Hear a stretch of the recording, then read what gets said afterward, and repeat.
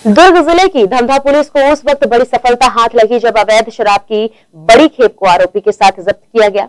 हम बता दें कि मध्य प्रदेश से तस्करी कर भारी मात्रा में अवैध शराब छत्तीसगढ़ लाई जा रही थी। इस अंग्रेज़ी शराब की कीमत लगभग 30 लाख रुपए बताई गई है।